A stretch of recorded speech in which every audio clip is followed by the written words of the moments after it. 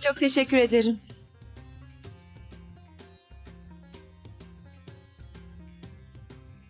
Namlın dur. Hey! Hey! Baykon burada ne işiniz var? Gidin. Hey Namlın dur. Sakin ol. Konuşmamız gerekiyor. Dinle. Hemen konuşmamız gerek. Bugünkü olay tamamen benim iyi niyetimden. Hem neden öcü görmüş gibi kaçıyorsun? Bu hoşuma gitmiyor. Gördüğün gibi ben de insanım. Korkunç bir canavar değilim. Benden böyle korkmana gerek yok. Bakın davranışlarınız bana güven vermiyor. Durduk yerde neden bize iyi davranıyorsunuz?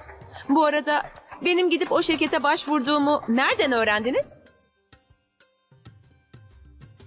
Bay Kong hemen gidin Yok. ve bir daha da gelmeyin. Hiç de bile. Hayır gitmiyorum Namlın. Beni dinle. Babam istediği için sana bu kadar iyi davranıyorum. Size iyi bakmamı istemişti. Sonra kuaför olduğunu öğrendim. Ne tesadüf ki o şirketi biliyordum. Ben de onlardan bir iyilik yapmalarını istedim. Hem o şirkete başvurduğundan da haberim yoktu. Ben ne yaptıysam sadece iyilik olsun diye yaptım. Başka bir niyetim yoktu. Beni dinlemen gerek.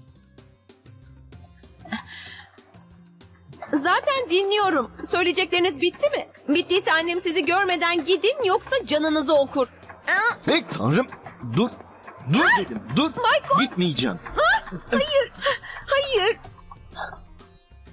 Demek benden kaçmanın sebebi annenin beni seninle görmesinden korkmandı.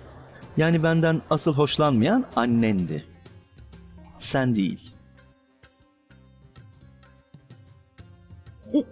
Gevezeliği bırakın. Annem sizi hiç istemiyor. He, he, he, dur dur dur dur. Peki ya sen? Beni görmek istiyor musun?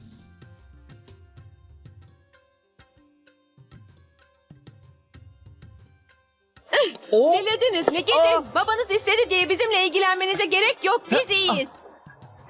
Hey Namlın. Dur gitme. Namlın. Hey Namlın.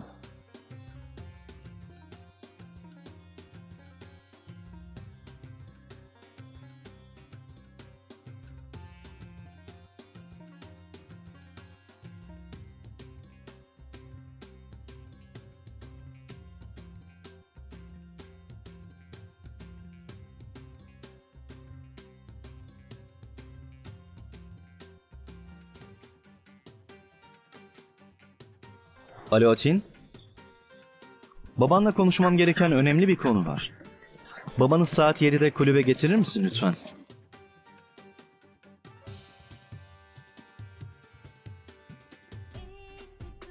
Daha fazla video izlemek için kanalımıza abone olabilir, ilk izleyen olmak isterseniz bildirimleri açabilirsiniz.